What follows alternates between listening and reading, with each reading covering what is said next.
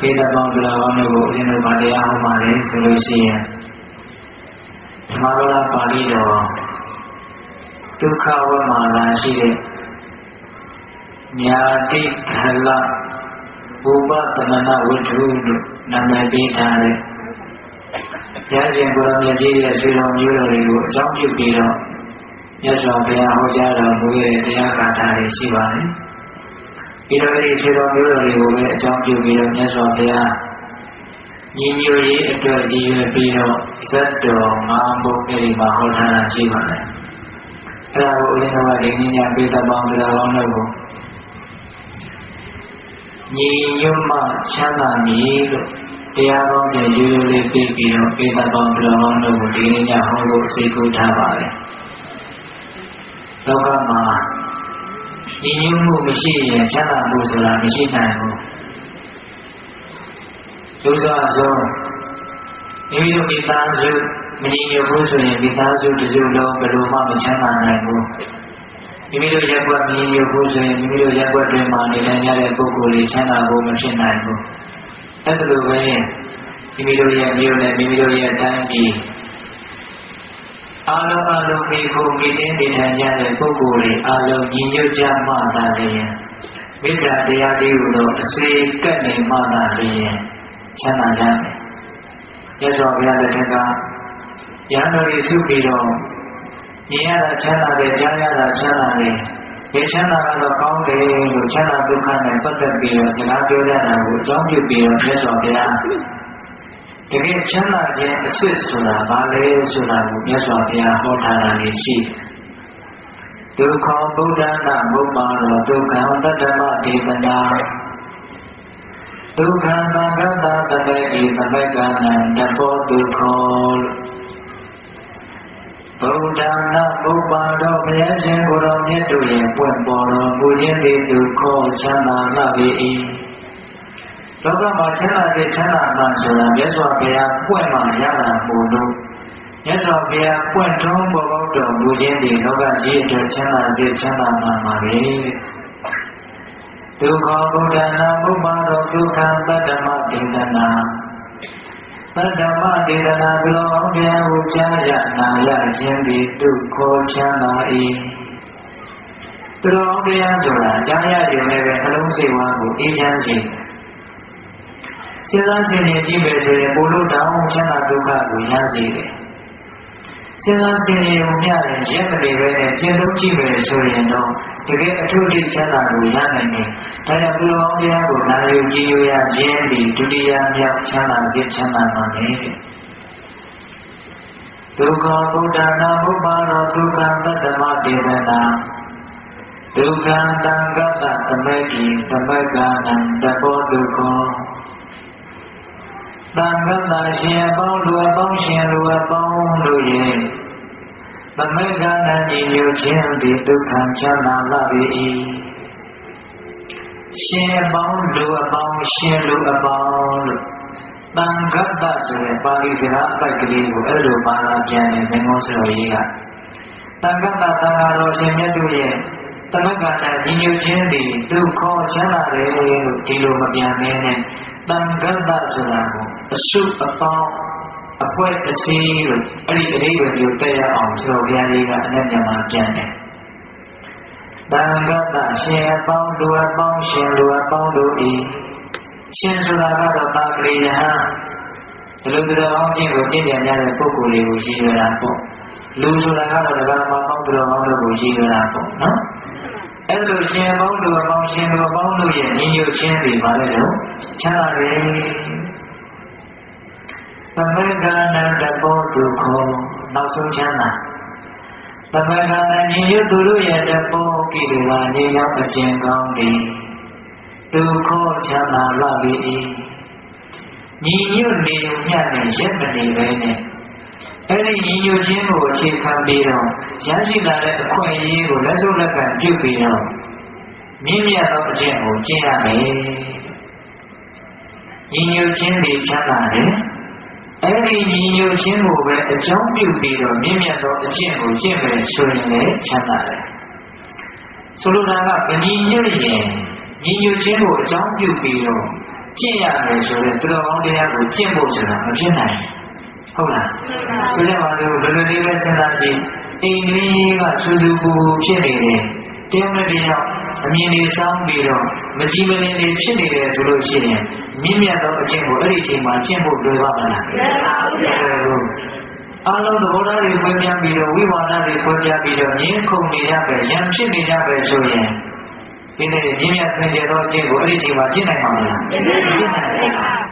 ဒါကြောင့်ချမ်းသာဒုက္ခ၄မျိုးအဲ့ဒီမှာမြတ်စွာဘုရားဟောတာဘုရားပွင့်ခြင်းပြီးချမ်းသာတယ်သူတော်တရားကိုနာယူကြည်ညိုရခြင်းပြီးချမ်းသာတယ် ရှင်ပေါင်းလူပေါင်းတို့ရဲ့ညီညွတ်ခြင်းသည်ချမ်းသာတယ်။ညီညွတ်သူတို့ရဲ့မြတ်သောအကျင့်ကိုကျင့်သုံးရခြင်းသည်လည်းချမ်းသာတယ်လို့လေးပါးလေးမှာဟောတာ။အဲဒါဦးဇင်းတို့ကဒီကနေ့တတိယအပတ်ကလေးကိုအခြေချက်တွင်ပြီးတော့ပြောကြည့်ပါ။ညီညွတ်ခြင်းသည်ချမ်းသာတယ်ဆိုတာလေး။ညီညွတ်ခြင်းသည်ချမ်းသာတယ်ဆိုတော့မညီညွတ်ဘူးဆိုရင်တော့မချမ်းသာဘူးဆင်းရဲမယ်လို့အတိပ္ပယ်က တိတိကျကျထွက်နေတယ်ဟုတ်လားအေးဒါကြောင့်ဒီနေ့ညငါမှာပေါင်းပြီးတော့တို့တာရီရမယ်တရားဒေသနာတော်ဒီညီညွတ်မှချမ်းသာပြီတဲ့နော်အဲကြောင့်စတင်ပြီးတော့တာရီကြည်ညိုကြရအောင်ဒီတရားတော်မဟောကြားပေကမနာကြဒေခင်မှာ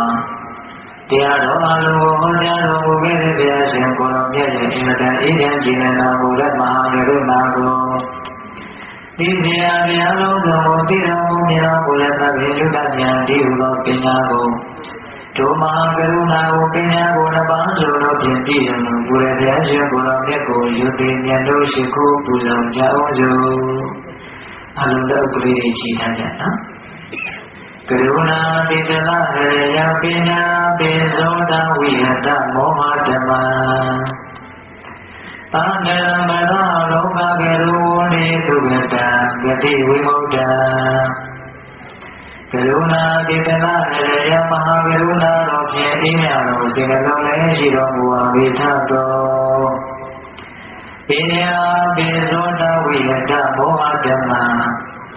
အရဟတမေတိဟုသောအရာဝလေးဖြင့်ဝိသတိဟုသောမိုက်မောင်းကိုပြေခွာတော်မူ၏ထသော သံဃာဝရလောကကရောလူနဲ့ပြမတတဝါနန္ဒလူ၏ကြောင့်ဒီတတုလေလူပြုရာသဇူရီတော်ဆရာတကယ်လည်းဖြစ်တော်မူပါ၏ထသောဂတိဝိမောဒံဒေဝမနုဿာတိရယနှင့်ပိယတဒေသနာယရှိငါဓမ္မဂတိတို့မှာဤသူတည်းကင်းလို့တော်မူ၏ထသော သူဝေဒသတ္တဝါတို့အားကျုံးများကြောင့်ဟုတ်မှန်သောစကားကောင်းဘုရားပြည့်စုံတော်မူပါ၏ထသောဘုရားပိစာလေးရတရားမြတ်ကိုလက်ပေါ်တင်နာဗရညာကေရောကေမထေရတိမြင်ပေတဖျားရှင်ကိုယ်တော်မြတ်ကြီးကိုမေယံတရားဟောဖို့တရားနာဖို့ကိုဆိုပြည့်ပြပြမမဟုယုံနာနှပြဖြစ်ကြပါတော့ဘုရားလေးတော်တို့သည် ဘုန်းဒီဝနာမှာခံရဝေဒီဝနာဖြင့်သုံးလေပါရပရာမဖြင့်ဒုက္ခယုကျိုးလက်ဆုံးမူကားရှိခိုးပုညပါ၏မြတ်စွာဘုရား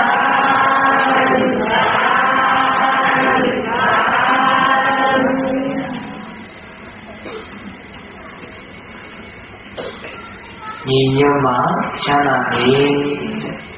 ညီညွတ်ရေးကိုရှေ့ရှုပြီးတော့ဒီတရားကိုစတင်ပြီးတော့တာယူကြည်ညိုကြရအောင်ဘုရားရှင်ကိုယ်တော်မြတ်ကြီးမက်ကတိုင်းမှာတကယ်လို့တော့ဘုရင်ခါကာလ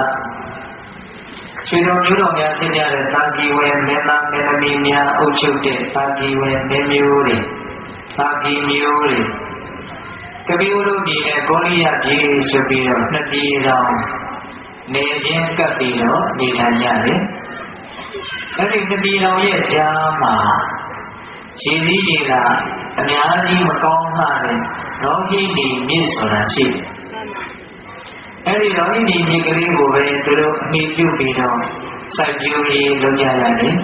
။အဲ့ဒါတစ်နှစ်မှာတော့နောင်မိုးနေတဲ့အတွက်ကြောင့်ရောဂိနေမြစ်ရာစောစောစီစီခန်းတယ်။အဲ့ဒါလိုစောစောစီစီခန်းတော့ကောရိယတိုင်းပြည်မှာရှိတဲ့ဗာဒီဝတွေက ကပိလောမှာနေကြတဲ့ဗာဒီဝတွေတွေဖတ်ပြီးတော့ငါတို့ရဲ့လေတွေဟာတရေလောက်တိုက်လိုက်တာနဲ့တရေလောက်ယူလိုက်တာနဲ့အောင်တော့မှာပါဒါကြောင့်ဒီရေရင်းရေရင်းလေးကိုတို့ကိုပေးပါအဲ့လိုပြောတော့ကပိလောကလူတွေကဒီမင်းတို့ကိုပေးရင်တို့လေတွေအကုန်သေးမှာပေါ့အဲ့ဒီတော့မင်းတို့ဓမ္မတွေပြောမှာတို့ကမင်းတို့အိမ်လိုက်ပြီးတော့ဝယ်ရမှာလားအဲ့ဒါလိုနဲ့လူလူပြောရတော့ဒီခွဲဝေမှုကိုအကြောင်းပြုပြီးတော့မသိမမြတ်ဖြစ်တယ် အဲ့ဒီမသိမမြတ်ဖြစ်တာကဘယ်ကစဖြစ်တယ်လဲဆိုတော့လေဓမ္မတွေကစဖြစ်တယ်နော်အဲ့ဒီလိုလေဓမ္မတွေကစပြီးတော့ပြင်ရင်ပြင်ရင်နဲ့အဲ့ဒီလေဓမ္မတွေကအချင်းချင်းတခါတည်းတရားကိုတရားအတာရပြီးရောဆိုပြီးတော့မင်းတို့ကိုအုပ်ချုပ်နေတဲ့မင်းတို့ရဲ့မင်းတွေကတကယ်စင်စစ်တော့အလူအဝဲတွေကနေစပြီးတော့ကြီးမွားလာတာကွာကပိလို့မြေကလူတွေကကောလိယတာကြီးဝေတွေကိုအဲ့လိုမြဲတာပို့ပြီးတော့ စကားအစ်စ်ထိုးတာပေါ့လေအဲ့ဒီမှာကောလိယကလူတွေကလည်းဟင်းမင်းတို့တာကြီးဝေတွေကကပိလို့ကလူတွေကခွေးတွေစိတ်တွေလိုမောင်းနှမအရင်ချင်းယူကြတဲ့လူတွေအဲ့ဒီလိုပုဂ္ဂိုလ်တွေရဲ့လေးတွေများတွေတဲ့တဲ့တွေကဘာများဆွမ်းချက်မှလဲအဲ့လိုတယောက်ကိုတယောက်နားအောင်ပြောတဲ့စကားတွေက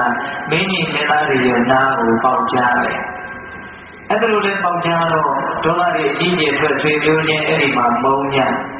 နောက်တော့ဘလောက်ဒီဘလို့ပြင်းထန်လာလဲဆိုတော့ကပိလောကသာကိဝေတွေကလည်းဟိခွေးတွေနွားတွေလိုအိမ်တော်ပြုတဲ့တို့သာကိဝေတွေရဲ့အစွမ်းကိုကြားကြမယ်ဟိအနူတွေကနေပြီးတော့ကြီးပွားလာတယ်ဆိုတဲ့တို့သာကိဝေတွေရဲ့အစွမ်းကိုလည်းကြားကြမယ်ဆိုပြီးတော့ကိုရိယာကလည်းစိတ်ကြီးချလာကပိလောကလည်းစိတ်ကြီးချလာတယ်သောကြီးဒီမြင့်ရဲ့တောင်းမြင်ပေါ်မှာတယောက်ကိုတယောက်အနိုင်ကျင်းရတယ်ပေါ့ တစ်ဖွဲ့နဲ့တစ်ဖွဲ့ဟုတ်လားမှန်ပါဗျာအဲ့လိုစီကြီးဖြစ်လို့တွေ့ကြောင်းစီးမဲ့အခြေအနေကိုဘုရားမြတ်စွာဘုရားကိုမြင်တော်မူတော့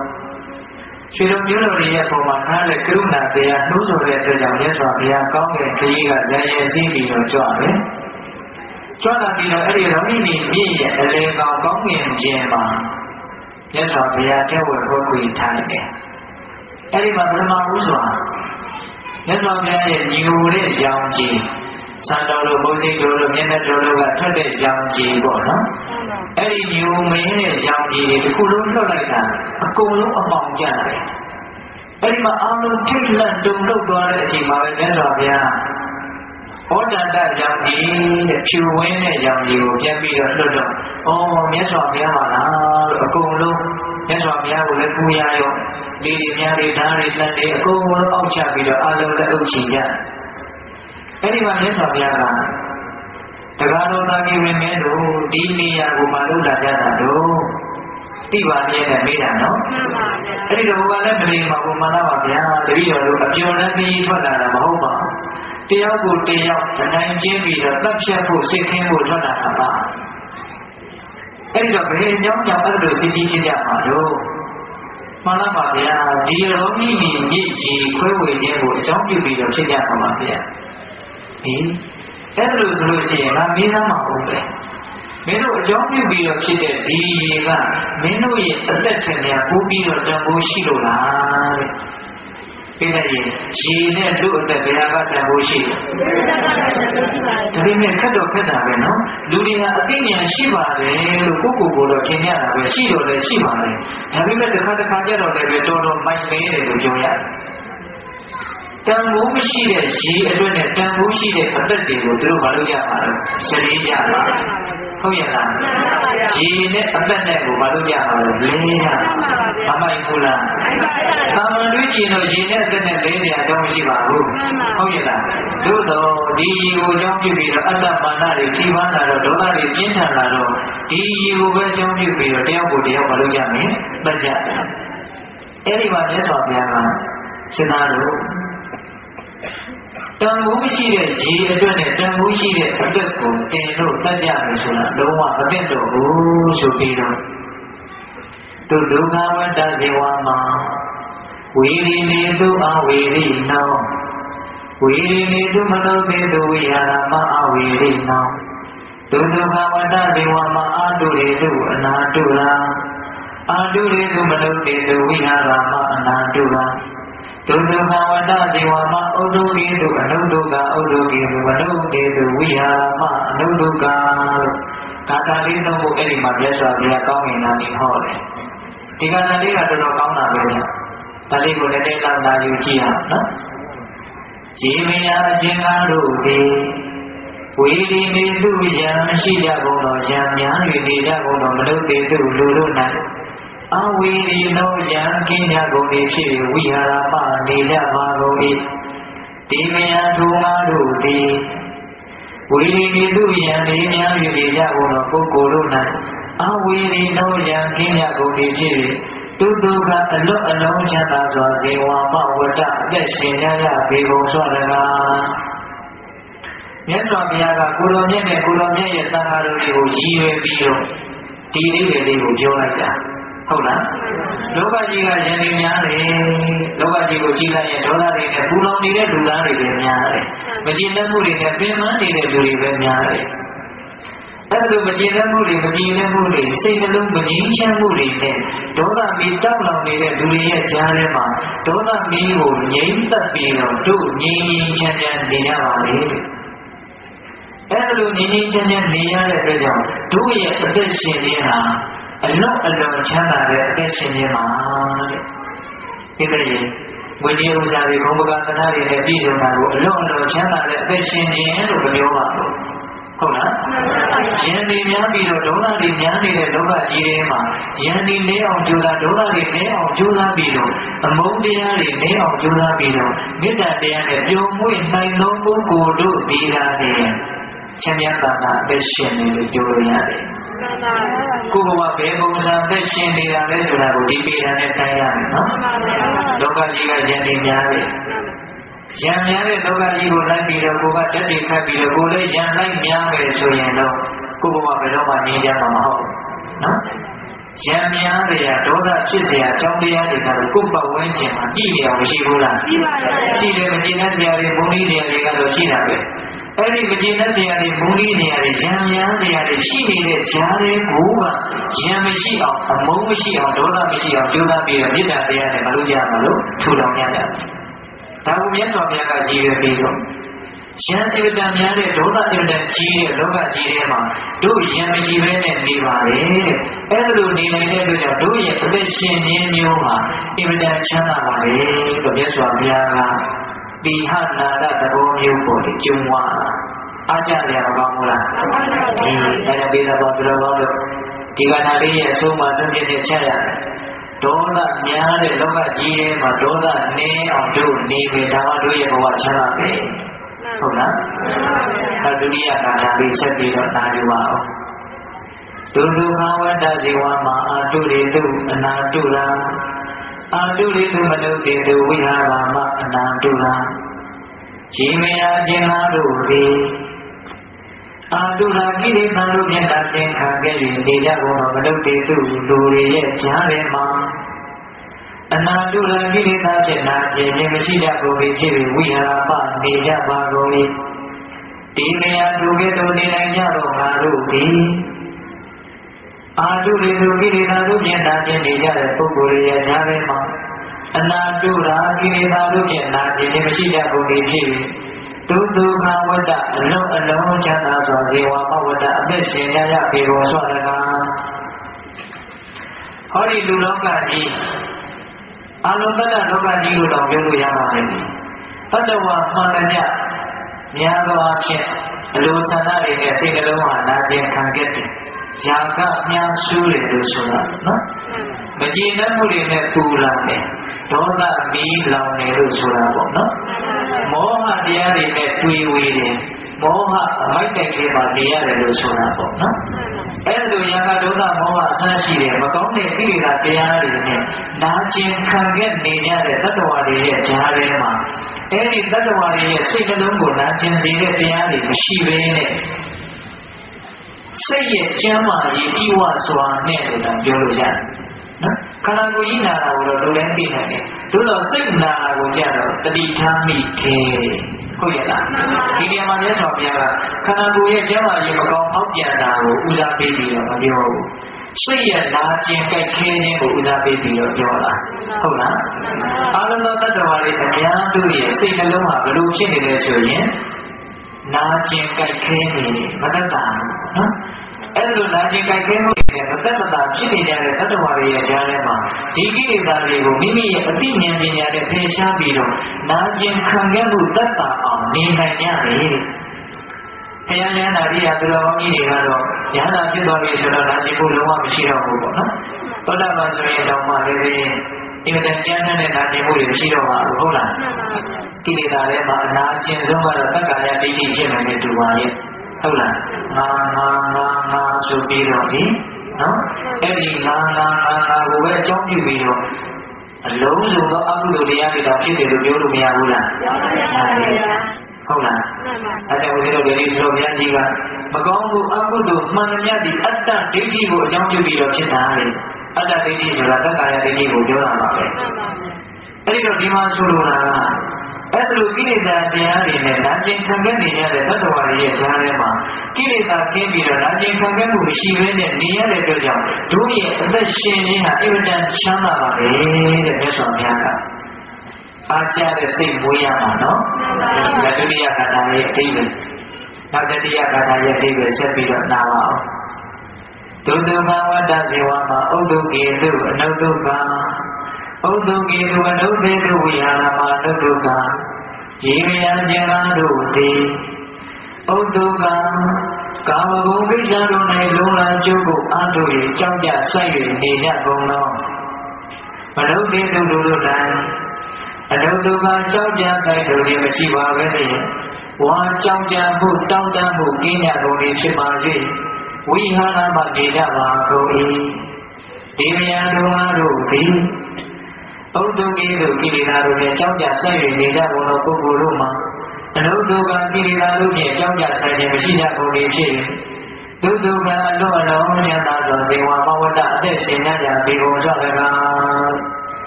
ဟောဒီလောကကြီးကတလူလူတရားရတဲ့မာရီကျူးစားနေတာလေ ရုပ်ပိုင်းဆိုင်ရာလှုပ်ရှားနေတာတွေမရှိဘူးလားရှိပါပါငြိမ်နေဆိုတာရှိကိုမရှိဘူးအိတ်နေတဲ့အချိန်တော့ကောင်းကောင်းမငြိမ်ဘူးဟုတ်ရဲ့လားဒါရုပ်ပိုင်းဆိုင်ရာမျက်စိနဲ့မြင်ရတဲ့မငြိမ်ရင်ပေါ့စိတ်ပိုင်းဆိုင်ရာတွေကလည်းတလှုပ်လှုပ်နဲ့ကြောက်ကြစိုက်နေတာမရှိဘူးလားရှိတာပေါ့စေတနာကောင်းဆောင်တဲ့တရားတွေကတလှုပ်လှုပ်တရားရတဲ့သူမြင်တဲ့နှိုးစော်နေတယ်သင်္ခါရခန္ဓာမကောင်းတာတွေလုပ်မယ်မကောင်းတာတွေလုပ်မယ်လုပ်မယ်လုပ်မယ်ပေါ့ဟုတ်လားအဲ့ဒါလိုကမ္မဆိုတဲ့သဘောမျိုးနဲ့ အလုပ်တွေလုပ်ပြီးတော့တလုံးလုံးတရားရောက်တဲ့ကြောက်ကြစိုက်နေကြတဲ့လူတွေရဲ့ဈာထဲမှာနော်တရားမှုရှိတဲ့ဒီဟာသံဃာတော်ကြီးတွေကတော့ဉာဏ်သာကြီးတွေကတော့အဲ့ဒါလိုကိလေသာတရားနဲ့ကြောက်ကြစိုက်မှုဆိုတာသူတို့မှမရှိတော့ဘူး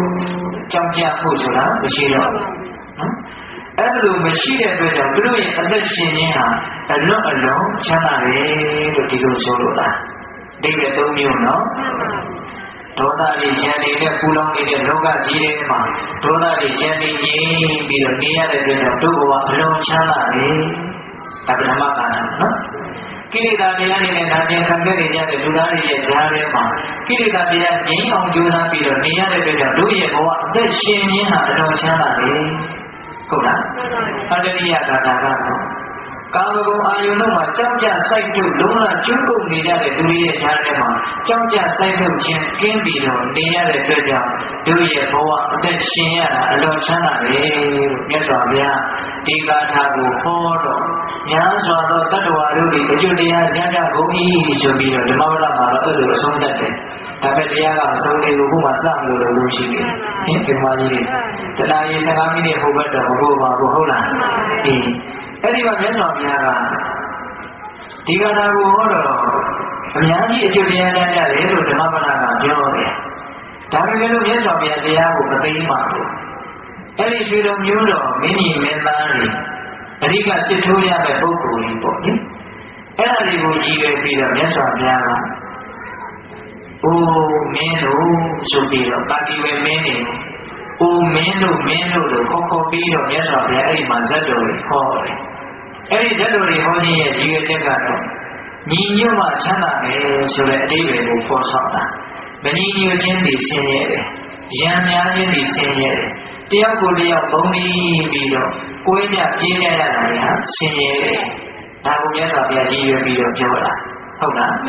အဲ့ဒီမှာမြတ်စွာဘုရားစပြီးတော့ဘယ်ဇက်ကိုဟောတယ်ဆိုတော့ဦးဇင်းတို့ဖန္ဒနဇက်ဆိုတာကိုဟောတယ် မမပြောပါတော့တဲ့အရာကိုအကြောင်းပြုပြီးတော့ရံမျိုးတွေမဖွင့်ရဘူးတော်ရုံတန်ရုံဟာကိုပြီးခံနိုင်ရတယ်အသေးအမွှားလေးကိုစိတ်ထဲကမကြည်မနဲ့ဖြစ်ပြီးတော့ဒါကိုပုံကြီးချဲပြီးတော့စိတ်ထဲကမခံနိုင်ဖြစ်နေခြင်းတွေအဲ့ဒါပျက်စီးခြင်းရဲ့အကြောင်းပဲဟုတ်လားဒါကြောင့်အခုလည်းပဲသူတို့ဘာမှမဟုတ်တဲ့တယောက်ရဲ့ဂုဏ်ကိုတယောက်ဖြစ်ခဲ့ပြီးတော့ပြောတာလေးကိုအကြောင်းပြုပြီးတော့တယောက်ကိုတယောက်အသိတတ်ကြတာ ဟုတ်လားဒါကြောင့်ရှင်းလုံးမှာဘာမဟုတ်တဲ့အကြောင်းလေးကိုရန်ကျိုးဖွဲ့ပြီးတော့တယောက်ကိုတယောက်ဖြစ်စည်းရတဲ့အတွက်ကြောင့်နှစ်ဦးနှစ်ဖက်အကျိုးမဲ့ပြီးတော့ပျက်စီးခြင်းကြီးစွာပျက်စီးခြင်းရတဲ့အဖြစ်ကိုမြတ်စွာဘုရားယုဂရုနဲ့ကြီးဖြစ်တုန်းကမြင်တော်မူသိတော်မူခဲ့တာကိုတဆင့်ပြန်ပြီးတော့ပြောပြတယ်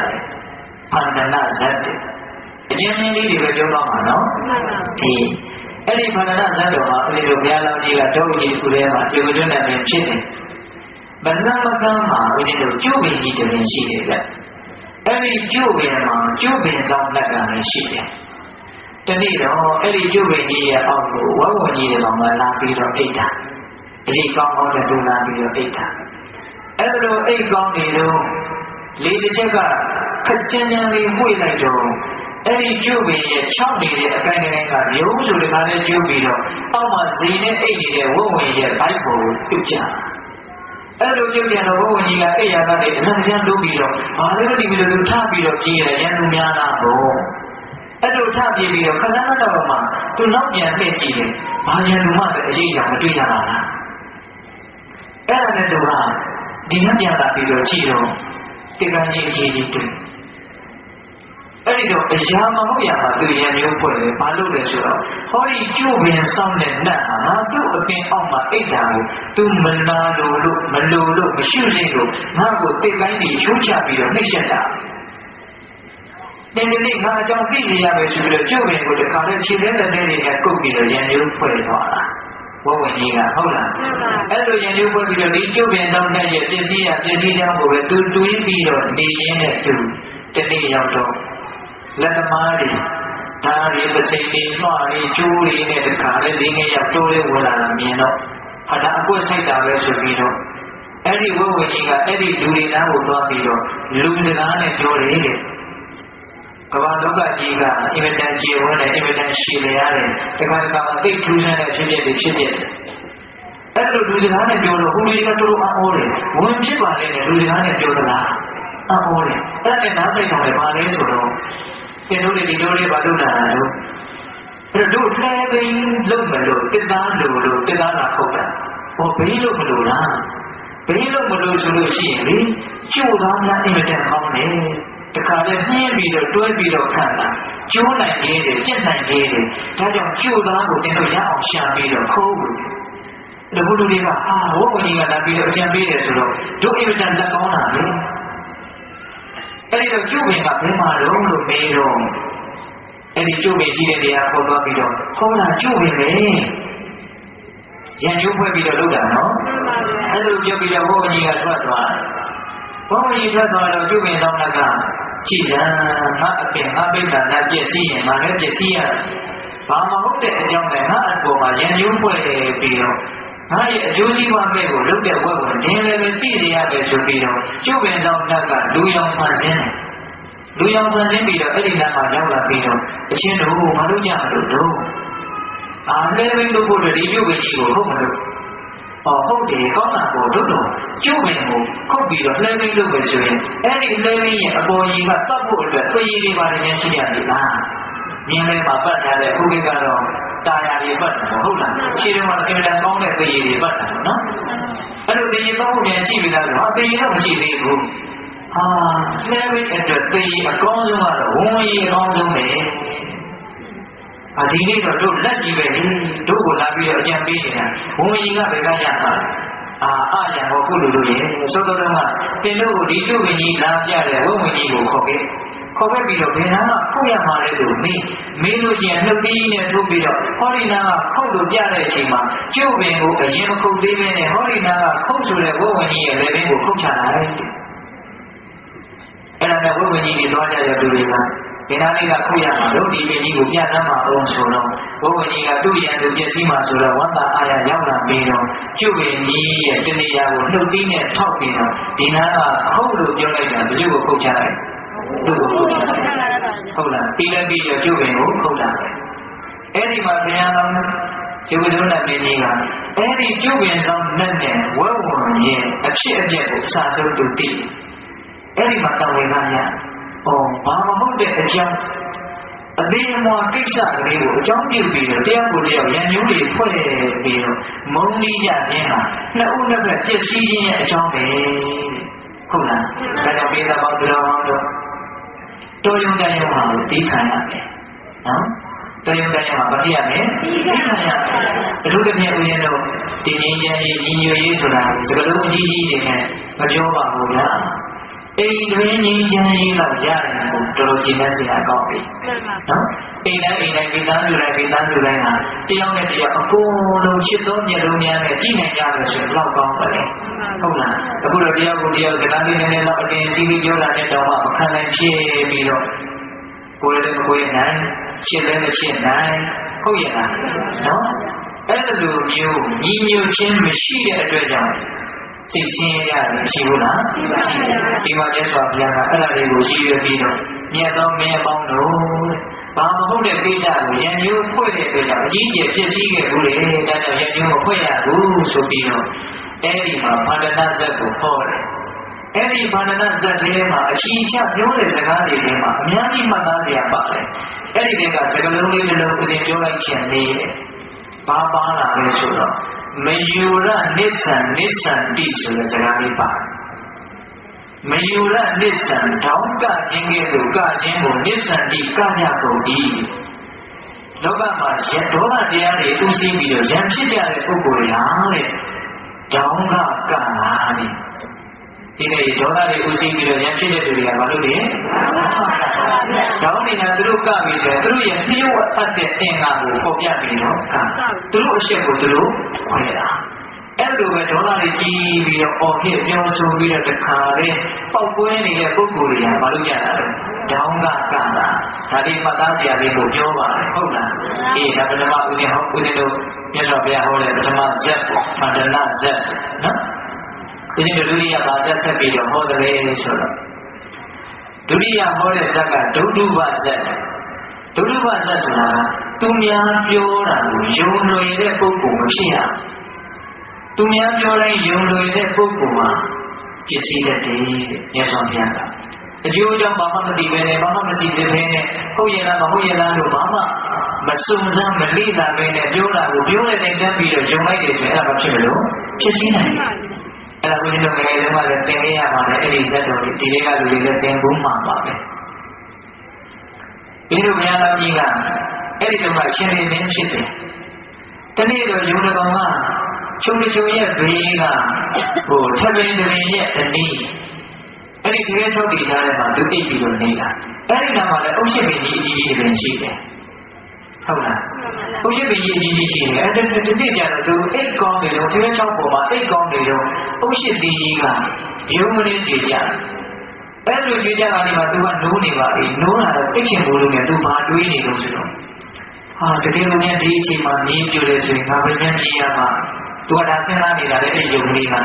ကယ်လို့မြတ်ဒီအချိန်မှာမြည်ပြတယ်ဆိုရင်ငါပဲဉာဏ်ကြီးရပါတော့အဲ့လိုစဉ်းစားနေလို့ငယ်တက်တဲ့ချိန်နဲ့ဥจิตတိကြီးကမြုံမလေးတွေ့ကြတယ်တိုက်ဆိုင်လိုက်တာနော်အဲ့လိုလေမြုံမလေးနဲ့ကြားတော့ဟာမြည်ပြူပြီးဆိုပြီးတခါလဲတစ်စက်ကမြည်ပြူပြီးဆိုပြီးပေါ်ပြီးတော့ဖြေးတာ သူអော်တဲ့အတန်ကိုယုံနေကအချင်းချင်းကြားတယ်နောက်သမီးတွေကြားတယ်သမီးတွေကလည်းပြေးကြတယ်ပြေးပြူတယ်ဆိုပြေးကြအဲ့ဒီမှာတခါလဲကျွေးတွေနွားတွေကြားတွေစက်တစ်တွေအကုန်လုံးမြောက်တွေကြီးညတာတယုံယုံနဲ့တော့တော့ဆင်းနေပါကြီးညဘယ်လိုစပြောလိုက်တာလဲယုံမစပြောလိုက်တာဒါကိုဘယ်သူကမှဒါဟုတ်ရဲ့လားလို့မစူးစမ်းဘူးတယောက်ကယုံယုံယုံယုံလုပ်ရင်တဲ့တကောင်ကယုံယုံယုံယုံလို့တော့နောက်တစ်ကောင်ကယုံယုံယုံယုံလိုက်လုပ်တာ ဟုတ်ရဲ့လားဒါမကောင်းဘူးတော့တခါကြီးမှညာနော်ဒီလိုယုံယုံယုံယုံယုံယုံဖြစ်နေတဲ့ကိစ္စဟာဘာလဲဆိုတာမစဉ်းစားခဲ့ဘူးလားစဉ်းစားတဲ့နာပေါ့ဉာဏ်လေးကိုရှိတဲ့နာပေါ့အဲ့ဒီမှာဘုရားတော်ကဟာဘာဖြစ်တယ်မသိဘူးတခါတည်းဒီလိုတိုးသုံးတော့တခါတည်းစုံဉဏ်ပွနေတာပဲဆိုပြီးတော့စုံနှမ်းလိုက်တော့ဘာဖြစ်လို့ပြီးနေကြတာတော့အဲ့ဒီမှာဘုရားတော်ကအတင်းပြေးပြီးတော့ကြားနေရောချင်းလေးတွေအကုန်ရက်အောင်လုပ်တယ်ဘာဖြစ်လို့ပြေးတာ လဲမီးပြူမယ်ဆိုလို့ပြေးတာဒီနေ့ဆက်ပြေးနေရှေ့မှာသမုဒ္ဒရာပဲရှိတော့မယ်အဲသမုဒ္ဒရာလည်းကြပြီးတော့ကုန်ပြေးမှာအဲ့ဒါဘုရားတော်ကတည်တာပေါ့နော်အဲ့ဒီမှာရခိုင်ပြည်တော့ရှင်လေးတွေကိုမေးတယ်ဟုတ်ညီမျိုးမလို့ဇုကပြောတယ်ကြားတွေကပြောတာအဲ့ဒါနဲ့ကြားတွေကိုမေးတယ်ဇုကပြောတယ်ရှင်တွေကပြောတာရှင်တွေကိုမေးတော့ကျွေးတွေကပြောတော့တွေကပြောနောက်ဆုံးလိုက်လိုက်တော့ခုနကထွေးချောက်ပေါ်မှာအိတ်နေတဲ့အကောင်နောက်ဆုံးသွားတွေ့တယ်မင်းဟုတ်လားဟုတ်တယ်ကျုပ်ကိုယ်တိုင်ကြားတာ ဘယ်နားမှာကြားတာလို့ကျုပ်အိတ်နေတဲ့နားမှာကြားတာကံပြစမ်းကွာဆိုပြီးလိုက်ကြည့်တော့ထွေးချောက်ပေါ်မှာပုရှိသေးကြီးကရှင်းတယ်ဟုတ်လားအေးအဲ့ဒီမှာမြတ်စွာဘုရားအဲ့ဒီဇက်ကိုဘာညွှန်ခြင်းနဲ့ဟောတာလဲတစုံတယောက်ပြောသောစကားကိုအကျမ်းကာရောယုံပြီးတော့ရှုရဖြစ်ကြတယ်မရှိဘူးလား။ဒီကိုဒီမှာဘယ်လိုပြောနေတာလဲ။ဟုတ်လားမဟုတ်လားလည်းမသိဘဲနဲ့တက်ပြီးတော့ဒေါသကဖြစ်တော့တာလို့ဒေါတော့တာဒေါသကထွက်တော့တာဒါစဉ်းစားရမယ်နော်။ကိုယ်လားနဲ့ဆက်ဆက်ကြတာလား။ ဟင်စဉ်းစားရရတယ်နော်။ဒါကြောင့်ဒီကိစ္စကအကျဉ်းချက်ပြောမယ်ဆိုရင်လည်းနေဝင်ပါလေ။နော်။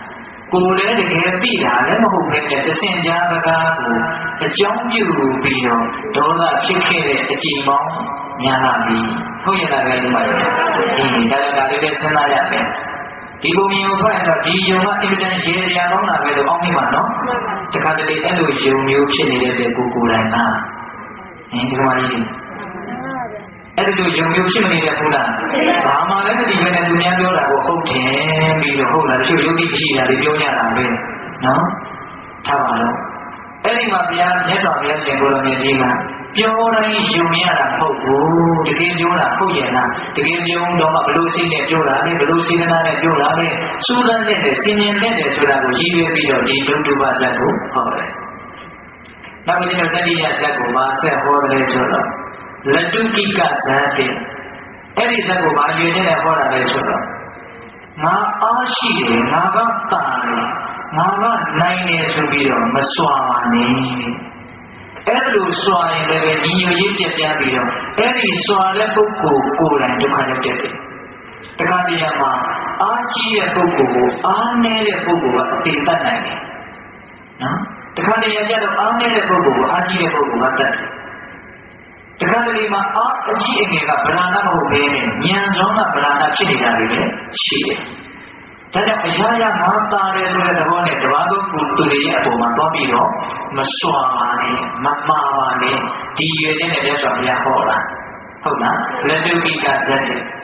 အဲ့ဒီဇတ်တော်မှာတော့ဥိလုဘုရားတော်ကြီးကအင်မတန်အသိဉာဏ်နဲ့ပြည့်စုံတဲ့ရှင်လူကြီးတို့ကိုကောင်းဆောင်ရတဲ့ရှင်ကြီးတွေကောင်ဖြစ်တယ် တတိတော့နောက်လိုက်စင်ပေါင်းများစွာခြံရပြီးတော့တော်လေးတဲ့ပြီးတော့အစာရှာအဲ့လိုအစာရှာတော့နေတော့ရှင်းသားကပြုံးနေတယ်ဘာတွေ့လဲဆိုတော့တက်တင်မောင်ကနေအတော်မလေးတစ်ခုလက်ရှက်ပြီးတော့လှမ်းပြီးတော့သူ့ကိုပြောနေတဲ့ဒီလုံးနှစ်ပါးလေးကိုမြင်တယ်ဘုရားတော်ကအဲ့ဒါနဲ့ရက်ပြီးတော့နားထောင်မယ်ဘာပြောတာတော့ဆိုတော့အရှင်ရှင်မင်းကြီးတဲ့အရှင်တို့ရဲ့သွားရလမ်းနွားချီရာကွက်သေးမှာ ကျွန်တော်မျိုးမှသားလေးတွေပေါက်ထားတယ်တဲ့ဥကလေးတွေဥထားလို့အဲ့ဒီမှာဥလေးတွေကအကောင်ပေါက်နေတယ်ရွှေလည်းမရွှေနိုင်ဘူးပေါ့အဲ့ဒီချီရာကွက်သေးမှာကျွန်တော်မျိုးမှရဲ့သားလေးတွေသမီးလေးတွေရှိပါတယ်အဲ့ဒါအရှင်တို့ရဲ့သွားရလမ်းကျနေတဲ့အတွက်ကြောင့်အဲ့ဒါကိုနင်းပြီးတော့မသွားပါနဲ့တောင်းပါမှာလေအသက်ကိုချမ်းသာကုန်ပြီးပါသားလေးတွေသမီးလေးတွေရဲ့အသက်အဲ့တော့ဘုရားတော်ကတော့ကျင်လာတဲ့စိတ်ရှိတာဆိုတော့ကောင်းပြီမင်းမမမပူနဲ့ဆိုပြီးတော့ အဲ့ဒီဒီလုံးနဲ့ပေါက်ဆကလေးတွေမပြန်နိုင်သေးတဲ့နွားချီယာပုတ်ကလေးကိုဘုရားတော်ရှင်တွေကကာယဖတ်ပြီးတော့ရပ်ပင်နေလိုက်တယ်။ကျန်တဲ့ရှင်တွေကနှောင်းနှောင်းနှောင်းနှောင်းပြီးတော့သွားကြတော့အကုန်လုံးကုန်ပြီဆိုမှဘုရားတော်ကနောက်ဆုံးမှသွားတာ။အဲ့ဒီမှာဒီလုံးနဲ့လေးတွေပေးခြင်းဒါပေမဲ့သွားတာဒီမှာဘုရားတော်ကဒီလုံးနဲ့မှလေးကိုမှားတယ်။အေးမလို့ရဲ့နောက်မှာအင်မတန်ရိုင်းဆိုင်တဲ့တကောင်လေးကျက်စားတဲ့အင်မတန်လေးပဲကြမ်းတမ်းတဲ့ဆင်ရကြီးတွေကောင်ရှိတယ်။ သူလည်းပဲဒီလမ်းကနေလာနေတယ်။မင်းသူ့ကိုလည်းပဲချုပ်တာတဲ့အတန်နဲ့ရအောင်တောင်းမှမအောင်လို့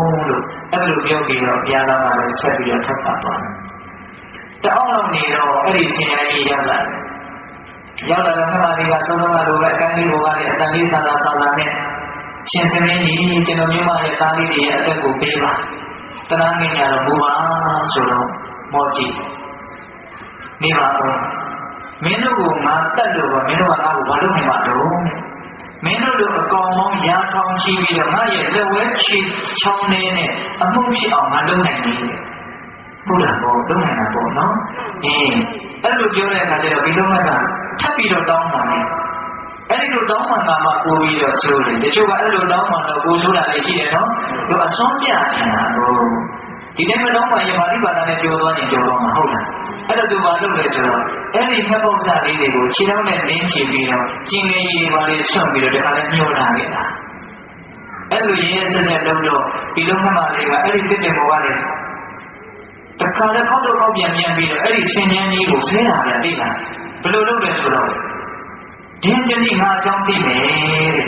အရာရာမှာကာယအာဒီဗราဏမကြဘူး အဲ့ဒါနဲ့ဒီဆင်ញန်းကြီးကိုသူဘလို့အနိုင်ယူမလဲဆိုတာသူအချင်းကြီးစဉ်းစားတယ်ဒီဒီလုံးကမှလေပြီးတဲ့အကြံဆိုတာလည်းထုတ်ရင်ထွက်တဲ့သဘောရှိတယ်နော်ဟုတ်လားအဲ့တော့ဘာလို့မလဲဆိုတော့ဒီဒီလုံးကမှလေးကပထမဦးစွာကြီးကန်းနေနဲ့မိတ်ဆွေဖွဲ့နော်မိဖြစ်သွားပြီဆိုတော့နောက်တဲ့ချင်းမမဲရိုင်းနဲ့မိတ်ဆွေဖွဲ့မိတ်ဆွေဖြစ်သွားပြီဆိုတော့နောက်တစ်ခါဖားနဲ့မိတ်ဆွေဖွဲ့နေတယ် အဲ့လိုမိတ်ဆွေရပြီဆိုတော့မှကြီးကန်းကိုအရင်အကူကြီးတောင်းတယ်သူ့ရဲ့ကြိုးကိုလည်းသူကအရင်ဆောင်ရွက်ပေးထားတာဆိုတော့ကြီးကန်းကဟုတ်ပြီမင်းတို့ကျင်တာပြောငါပါကူညီရအဲ့ဒီရှင်ရင်းကြီးရဲ့မျက်လုံးတစ်ဘက်ကိုထိုးပေါက်ပေးပါတဲ့ဟာဒါအလို့တသိခက်တဲ့ကိစ္စမဟုတ်ဘူးတဲ့နော်အဲ့ဒီကြီးကတောင်းယူပြီးဆိုတော့ရင်မမရင်နေသွားတယ်ကြီးကန်းမျက်စိကိုထိုးပေါက်ပြီးသွားပြီဆိုရင်အဲ့ဒီရှင်ကြီးရဲ့ပျက်စီးနေတဲ့မျက်စိတစ်ဖက်ထဲမှာ ရင်ကြီးမှုတွေဥပေးပါတဲ့လောက်ကြအောင်လောက်မြန်မြန်ကြအောင်ဒီအနာဘလို့မှတစ်ခါပြန်ပြီးတော့ကြောက်မသွားအောင်ပေါ့နော်အဲ့လိုရင်ကြီးကိုဥပေးပြီဆိုတော့မှဖားကိုသွားပြီးတော့အကူကြီးတောင်းတယ်ဒီရှင်ဉာဏ်ကြီးရေရှာနေတဲ့အချိန်အချိန်မှာတောင်ထိပ်ပေါ်ကနေပေါ်ပေးပါအဲ့ဒါရှင်ကြီးကတောင်ထိပ်ပေါ်မှာရေကြီးမယ်တယ်လို့တက်လာပြီဆိုတော့မှယောက်ျားလေးကိုဆင်းပြီးတော့တခါပေါ်ပေးပါအဲ့လိုခိုင်းတာအဲ့လိုခိုင်းတော့ ဘုရားကြီးကအစီအစဉ်နဲ့ပြလို့ကိုထိုးပါနောက်ရင်မမင်းကဒုတိယအစီအစဉ်နဲ့ယဉ်ကျေးမှုကိုဥချအဲ့ဒီမှာတခါတည်းကြိုက်ခဲပြီးတော့ဟိုမပြင်းဒီမပြင်းဆန်းရန်သွားရင်လည်းအဓိကပြဿနာကအစာဆိုတာတဲ့ရေကအရင်ဆန်းလာတယ်။ရေရင်ဆန်းလာတော့သူရှောင်းပြီးတော့သွားတော့ဖားပေါ်တန်ကြားတဲ့နေရာကိုသူတက်တယ်ဖြည်းဖြည်းနဲ့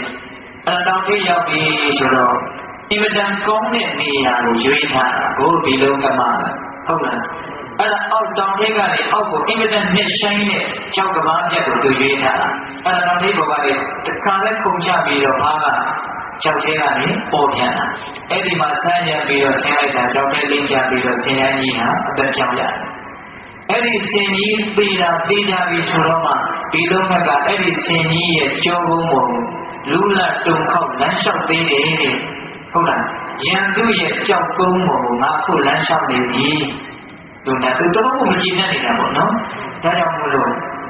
လူတွေကအားအစွမ်းရှိတယ်ဆိုတာလေးတစ်ခုလေးနဲ့တစ်ဖက်သားအပေါ်မှာအနိုင်ယူရတာလည်းရှိဘူးလားဒီတစ်ချိန်ဒီမှာအဲ့ဒီကိုယ့်ရဲ့အနိုင်ယူခြင်းတွေကအနိုင်ယူခြင်းတွေကကိုယ့်ဒီကိုတစ်ပတ်ပြန်ပြီးတော့လဲလာတာမျိုးရှိတတ်တယ်ဒါကိုတတိထားဖို့အတွက်မြတ်စွာဘုရားကဒီဇတ်တော်ကလေးနဲ့ရှင်မင်းတွေကိုဆုံးမဟုတ်လားဒါကတာတယ်နိုင်တယ်ဆိုပြီးတော့တစ်ဖက်သားကိုမမာပါနဲ့ မစွာပါနဲ့ဟုတ်ရဲ့လားအမှားခံရတဲ့အစွာခံရတဲ့သူကအခြေအနေရယုတ်တည်းရဲ့အခြေအနေရသိခံရပြီမလို့မကြည်နမှုကမကြည်နမှုကအဆိုင်ကဲဖြစ်သွားပြီဆိုလို့ရှိရင်ကိုယ်မှဒီနေ့နေ့မှအကျိုးမဲ့ပါပဲဟုတ်ရဲ့လားဒါကြောင့်ညီညွတ်မှုရှိအောင်မေတ္တာတရားရှိအောင်ပြိုကွဲမှုတွေမဖြစ်အောင်တတိယလိုက်နိုင်ရမှာလားတာရယ်ဆိုပြီးတော့မစွာပါနဲ့ဆိုတဲ့အိဗေပေါ့နော် သုံးရက်ရှိသွားပြီနော်ဘာမဟုတ်တာလေးအတွက်နဲ့ရန်ကျိုးမဖွင့်ကြနဲ့မမုန်းကြနဲ့တုံးနေမှာပြီးခံရဟုတ်လားအင်းနောက်ပြီးတော့သူများပြောတိုင်းမယုံနဲ့ဟုတ်ရလားဒီတော့ပါလေနိုင်တယ်ဆိုပြီးတော့မစွာပါနဲ့နော်အဲ့ဒီလိုမြတ်စွာဘုရားဟောပြီးတော့မြတ်သောမဲပေါင်းတို့နောက်တစ်ပါးချက်ပြီးတော့ဟောပြန်တယ်ဆိုတော့ညီညွတ်ရမယ်တဲ့ ညီညွတ်မှခွန်အားဆိုတာဖြစ်တယ်အဲ့ဒီခွန်အားကိုအကြောင်းပြုပြီးတော့စိတ်နှလုံးရဲ့ချမ်းသာခြင်းလောကီစီးပွားနဲ့ပြည်တော်ခြင်းဆိုတဲ့ချမ်းသာခြင်းဆိုတာရမ်းနိုင်တယ်ညီညွတ်မှခွန်အားဆိုတာရှိတာနော်ဒီအင်မတန်ကြီးမားတဲ့ရှင်ကြီးတွေကိုတုံထားတဲ့ကျိုးအဲ့ဒီကျိုးမှာအင်မတန်သေးနေတဲ့အမြင်ကလေးတွေကိုဖွဲ့ရှက်ပြီးတော့အကုန်လုံးချစ်ချစ်ပါအောင်သူတို့ပေါင်းစုထားတာ ကျိုးတစ်ချောင်းဟာအင်မတန်ကောင်းတဲ့ဥပမာပဲဟုတ်လားကြိုင်းပါဒီအဲ့ဒီကျိုးလေးကိုအကုန်လုံးပွားပြီးတော့တခါလဲဖြေလိုက်မယ်ဆိုရင်ဘာမှအစွမ်းမရှိတော့ဘူးဟုတ်ရဲ့လားတကယ်မြင်တာလေးအတူလေးတွေအဲ့ဒါလေးတွေကိုအကုန်လိန်ချစ်ပြီးတော့ကျိုးဆိုပြီးတော့ဖြစ်လာတာအကုန်လုံးစုစည်းမိပြီဆိုတော့အင်မတန်အားကောင်းပါလေဆိုတဲ့ဆင်ကိုတော့မှဒီကျိုးနဲ့ထူဖတ်ထားနိုင်တယ်ဟုတ်ရဲ့လားမှန်ပါပါဒီလိုဒကာမတို့ရှင်တို့လူတွေလည်းပဲကိုမိသားစုလည်းမိသားစုလည်းရောက် အားလုံးမေတ္တာတရားတွေနဲ့ညီညီညွတ်စွတ်စွတ်စီစီရှိကြဖို့မလိုဘူးလားအေးအဲ့လိုမေတ္တာနဲ့နေရတာကခွန်အားပဲဟုတ်လားအေးမုန်းတီးနေတယ်ဆိုရင်သူကအားမရှိတော့အားမရှိတော့အဲ့ဒီမှာမြတ်စွာဘုရားကအားရှိမှအရာရာကိုတွန်းလှန်နိုင်တယ်အားမရှိရင်ခန္ဓာကြီးလေးဆက်ကျင်ပဲနဲ့တွေ့ရင်ပစ္စည်းသွားလိမ့်မယ်ဆိုပြီးတော့ယုတ်ခဓမ္မဇန်တိနောက်စရုပ်နာတော့ဆက်တစ်ခုထပ်ဟောတာနော်အေးယုတ်ခဓမ္မဇန်တိအဲ့ဒီဘဝမှာလည်းဦးဇင်းတို့ဘုရားတော်ကြီးက ယုတ်ဇုံနဲ့ပြည်ဖြစ်တယ်သူ့မှာတပည့်တွေအများကြီးရှိတယ်ဒီနေ့တော့ဝတ္တဝရဏမင်းအပြောင်းလဲတစ်ခုဖြစ်တယ်ညအဲ့ဒီမှာတရားမင်းကဝတ္တဝရဏမင်းတယောက်ဟောသူဒီနေ့ကြာတော့နောက်တဲ့ဝတ္တဝရဏမင်းတယောက်ဖြစ်လာတော့အဲ့ဒီဝတ္တဝရဏမင်းကသူ့လက်အောက်ငယ်ကလက်တွေကိုနေပြီးအလီလီကိုခွဲပေးတာအဲ့လိုခွဲပြီးရင်လည်းကာယနေတို့ကိုနှစ်သက်ရနှစ်သက်ရပြည့်ပင်တွေကိုယူကြ ဒီတဲ့လူငယ်တွေကဒါတွေယုံမြဲယုံမလားမသိဘူးနော်လောကကြီးကအင်မတန်ကြည်ဝန်းတယ်နော်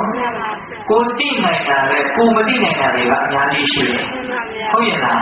ကိုတိနိုင်တာတွေကနည်းနည်းလေးရဲ့ကိုမတိနိုင်တာတွေအများကြီးနော်ဘာမှမသိသေးပဲနဲ့မစူးစမ်းပဲနဲ့မသိလာပဲနဲ့အရန်ကရောမယုံဘူးလို့လုပ်တာလည်းမကောင်းဘူးသိရလား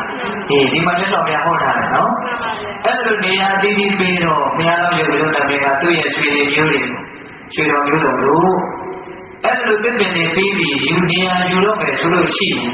စုစုစည်းပြီးရှိတဲ့သစ်ပင်တွေကိုစုစည်းပြီးတော့ယူရမယ်လို့ဘုရားတော်ကအဲ့လိုအကြံပေးတယ်အမိန့်ပေးတယ်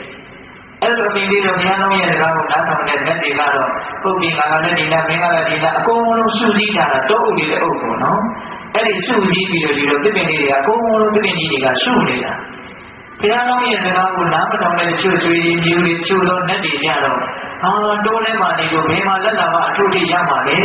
လူတွေနဲ့နီးတဲ့နေရာကိုနေမှာလက်လာမရှိမှာပေါ့ဆိုပြီးတော့လင်းကြီးကောင်မတပင်နဲ့အကြီးကြီးဖြစ်နေတဲ့အပင်တွေကိုယူရတာလေ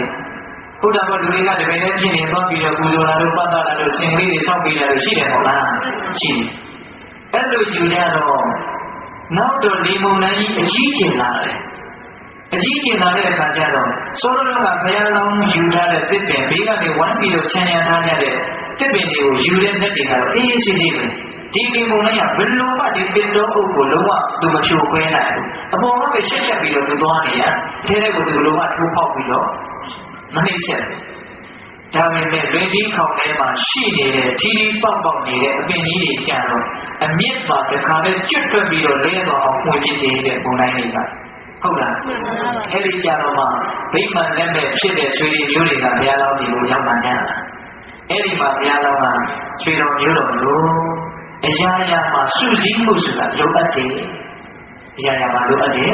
စုစည်းမှုဆိုတာလိုအပ်တယ်စုစည်းမှုဒီစိတ်နှလုံးရဲ့အားကိုဖြစ်တယ်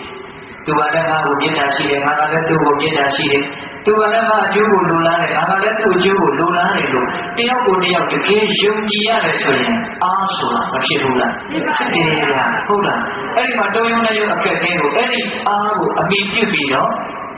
လွတ်မြောက်အောင်ကြိုးစားသွားလို့မရဘူးလားရတယ်ဗျာဒါကြောင့်မြတ်စွာဘုရားကအဲ့ဒီရည်ရွယ်ချက်နဲ့ညီညွတ်ရမယ်ဆိုပြီးတော့ယုခဓမ္မဇတ်ကိုဟောတယ်ဟုတ်ရဲ့လားဇတ်တော်ဘယ်နှပုဒ်ရှိပြီ၄ပုဒ်ရှိပါပြီအေးနောက်ဆုံးဇတ်ကတော့ဦးဇင်းတို့သမောဒမာနဇတ်တည်းသမောဒမာနဇတ်ဆိုတာကညီညွတ်ခြင်းရဲ့အကျိုးကျေးဇူးမညီညွတ်ခြင်းရဲ့အပြစ်အနာစာနှစ်ခုလုံးကိုတွဲပြီးတော့ဖော်ပြနိုင်တယ်အဲ့ဒီဇတ်ကတော့နော် အဲ့လိုဖော်ပြတဲ့ဇက်ကပါလဲဆိုတော့ဒီလိုဘုရားတော်ကတစ်ခုသောဘဝမှာ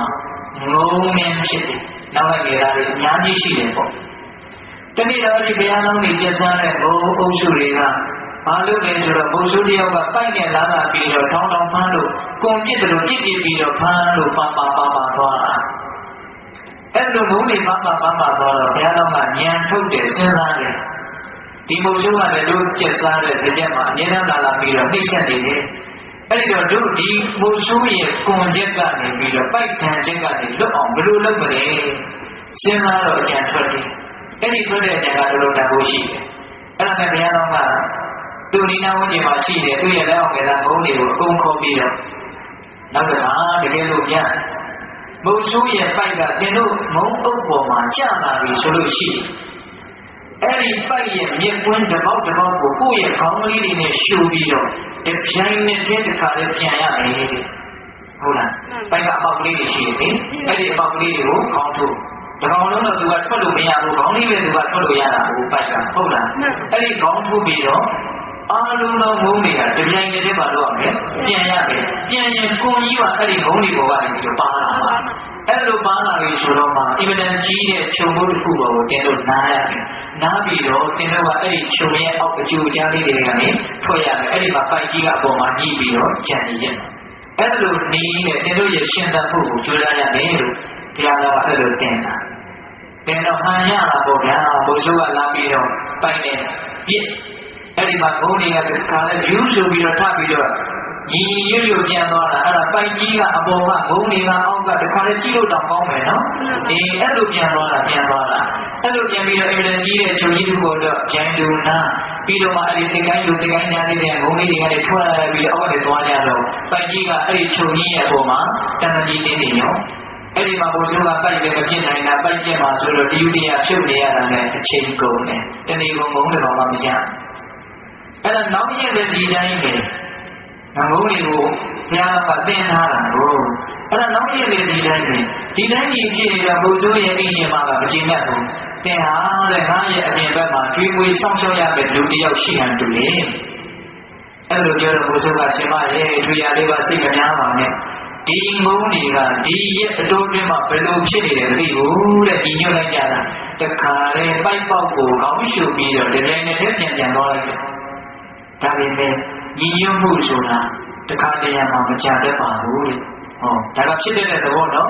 နော်နော်အများကြီးရှုနေလို့ရှိရင်သူကဘုဒ္ဓလေးတွေကရှိလာတာအဲဒီဘုဒ္ဓလေးတွေကတော့ကြီးပွားကြီးပွားလာပြီးတော့အကြောင်းလေးတွေတင်းတင်းတင်းတင်းပြီးတော့ညီညွတ်ခြင်းဆိုတာရှိတယ်လို့ညီညွတ်ခြင်းကပြုပွဲခြင်းဆိုတာလည်းရှိတာအဲ့ဒါကိုဘုရားကလူဆိုတော့သိတာပေါ့ဗျာသူတို့ကြံတာညီညွတ်နိုင်ပါဘူးကွာအဲ့ဒီတော့သူတို့တွေးဝန်းပွဲတဲ့တနေ့ရောက်မှမင်းမျက်နှာကိုပြုံးချင်စေဖို့အတွက်ငါကြိုးစားခဲ့တယ် အဲ့ဒါနဲ့တနေ့တော့အဲ့လိုမုန်းတဲ့ကောင်ကအစာရှာရင်းနဲ့တခါလေပြူးဆိုဆင်းပြီးတော့နားလိုက်တာမုန်းတဲ့ကောင်ရဲ့ခေါင်းကိုသူ့ချီတော့နဲ့တက်ပြီးတော့နင်းမိတယ်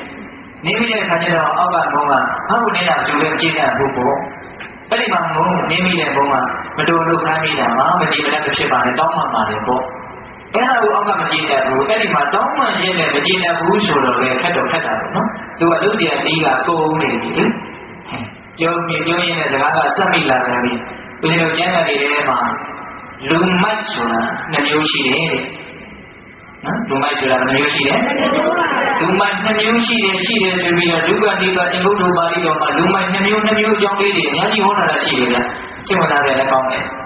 ပထမလူမိုက်ကဘာလဲဆိုတော့ကိုအပြစ်ရှိတာကိုအပြစ်ရှိတယ်လို့မသိတာဝင်လည်းမခံနိုင်တာ သိတော့လည်းသူဝန်ခံနိုင်ဘူးအဲ့ဒါလူမိုက်ငါကိုအပြစ်ရှိတာကိုရှိတယ်လို့လည်းမသိဘူးသိတော့လည်းပဲဝန်မခံနိုင်ဘူးအပြစ်မရှိတယ်လို့လည်းဟန်နဲ့ပါနဲ့နေတာပေါ့နော်ဒါပထမလူမိုက်နော်နောက်ဒုတိယလူမိုက်ကအပြစ်ရှိတာကိုအပြစ်ရှိပါတယ်လို့တောင်းမှလာတဲ့အခါမှာမချင်နိုင်တာအဲ့ဒါလေလူမိုက်ဖြစ်ခြင်းနော် အပြစ်ရှိတာကိုရှိတယ်လို့ဝန်မချနိုင်တဲ့သူကလည်းလူမိုက်ဝန်ချပြီးတော့တောင်းမှမှာနေတယ်မချင်နိုင်ဘူးဆိုရင်သူကလည်းပဲလူမိုက်ပဲတယ်အခုအဲ့လိုမျိုးပုံမှန်ဘုလူကတောင်းဖို့အကောင်ကတောင်းတယ်ဒါပေမဲ့ဟိုကောင်ကအချင်းညာအဲ့ဒီမှာအချင်းချင်းစကားများရင်းနဲ့မင်းကပိုက်ကြီးကိုမာတော့ကမင်းနဲ့ကောင်နဲ့မလို့ရင်ချင်းနေလားလာကြပြီဟုတ်လားအဲ့လိုသင်္ကန်းဟောသင်္ကန်းလေးပါလေသင်သားဆိုပြီးတော့ ဒီနှကောင်ရင်ဖြစ်ရင်ဒီနှကောင်ရဲ့အတိုင်းဝိုင်းဆိုတာပဲရှိနေသေးတာဘိုးဗျာဟုတ်လားအေးခက်တော့ခက်ကြီးတယ်အဲ့ဒီမှာသူ့အတိုင်းဝိုင်းကိုအတိုင်းဝိုင်းဆိုတာလေအကုန်လုံးကိုရရတာဘုံထဲမှာအဲ့လိုဘုံကြီးကိုရတယ်ဆိုတာကိုဘုရားတော်ကသိတော့မညီညွတ်တဲ့နေရာမှာနေရတာအန္တရာယ်ကြီးတယ်တဲ့ဟောဘုရားတော်ကသိတယ်နော်အဲ့ဒါနဲ့သူစကားနားထောင်မဲ့သူ့ရဲ့အပေါင်းအသင်းမိတ်ဆွေလက်ငယ်သားတွေအကုန်လုံးပေါ်ပြီးတော့ပြောင်းသွားတာဗျာဘုရားတော်က ဟုတ်လားအဲ့ဒီမှာမညီညွတ်တဲ့ဘုံလေးကြီးကြံရတာဒီဘုဆိုးကျင်တဲ့ကျက်ဆန်းတဲ့နေရာနေပေအသီးသီးမှာနော်အဲ့လိုနဲ့ဘုဆိုးကရောက်လာပြီးတော့ပိုက်ကိုတစ်ခါလဲပြစ်တော့ဟောစောစောကမှဖြစ်နေတော့မညီမညွတ်ပြိုကွဲနေပြီအဲ့ဒီမှာကဟေ့မင်းပြန်နေဆိုပြန်နေကွာမမင်းလည်းပြန်နေကွာ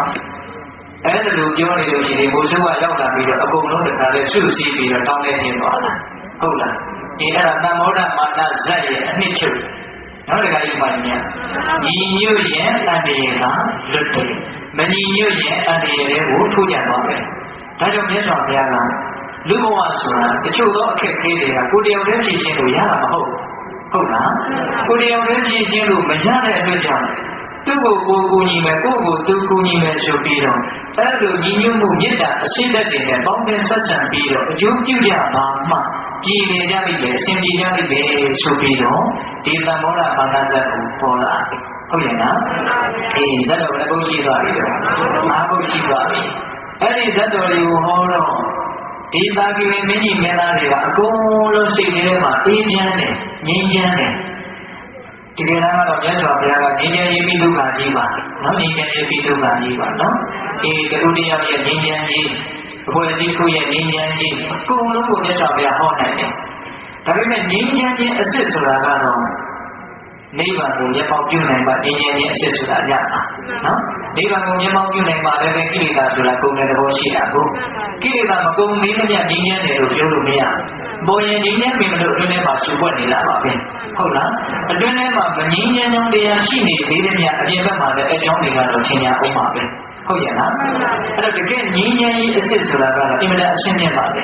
ဒါပေမဲ့ဒီကနေ့ညဦးဇင်းတို့ကအဲ့လိုကြီးကျယ်တဲ့ငြိမ်းချမ်းရေးကိုရည်ရွယ်ပြီးတော့မပြောပါဘူးနော်တရားနဲ့တရားအမုန်းတွေမပွားပဲနဲ့မေတ္တာတရားနဲ့ချစ်ခင်သောမျက်လုံးများနဲ့ကြည်နိုင်ကြပဲဆိုရင်ကိုပဲချမ်းသာဘူးလားချမ်းသာတယ်အဲ့ဒါကိုမြတ်စွာဘုရားကချီးမွမ်းလာပြီဗျာဒါကြောင့်ဦးဇင်းတို့ဘုရားဦးဇင်းပြောတဲ့ခန္ဓာဇတ်ထဲမှာနော်မြတ်စွာဘုရားကဟောတာလေဆိုတော့သာမဏိမေဝသိခေထဗုဒ္ဓေတံပတံတိတံ သာမဏိမေဝညီညွတ်ခြင်းကိုလာတဲ့သိခေထကျင့်သုံးရကုန်တော့ညီညွတ်ခြင်းကိုမလုပ်ရမယ်ကျင့်သုံးရမယ်ဧတံညီညွတ်ခြင်းကိုဗုဒ္ဓေဘုရားဆိုလိုတို့ပတံတိတံချီးမွမ်းတော်မူကြကုန်၏သာမဏိတော်ညီညွတ်ခြင်း၌ပြောမှု၏နေကြကုန်တော့ဓမ္မထိုတရား၌တည်သောပုဂ္ဂိုလ်သည် ယောဂကိပံယောဂဒီဝါတို့ရဲ့ကုန်ခါရဖြစ်တဲ့နိဗ္ဗာန်ကိုနာဓမ္မတိလျှော့ကြခြင်းကမဖြစ်နိုင်ပါဘူးယောဂကိပံယောဂဒီဝါတို့ရဲ့ကုန်ခါရဖြစ်တဲ့နိဗ္ဗာန်တရားမှာနာဓမ္မတိလျှော့ကြပြည့်စည်ခြင်းကမဖြစ်နိုင်ပါဘူးညီညွတ်ခြင်းကိုကြိုးစားရမယ်ညီညွတ်ခြင်းကိုဘုရားဆိုလိုသည်ချီးမွမ်းတယ် ညီညွတ်ခြင်းမှာပျော်မွေ့ပြီးတော့တရားမှာတည်မယ်ဆိုလို့ရှိရင်အဲ့ဒီပုဂ္ဂိုလ်ဒီနိဗ္ဗာန်တရားမှာမဆုံးရှုံးနိုင်ဘူးနိဗ္ဗာန်ရမယ်လို့ဒီလိုဟောတာနော်ဒီနေရာမှာနည်းနည်းလေးအလေးနဲ့လေးသားဆိုင်ပြီးတော့ထောင်ဖို့တော့လိုတာပေါ့တာမက္ခိရတောဓမ္မထောညီညွတ်နေုံညနဲ့လည်းပဲတရားထုကတော့မရသေးဘူးပေါ့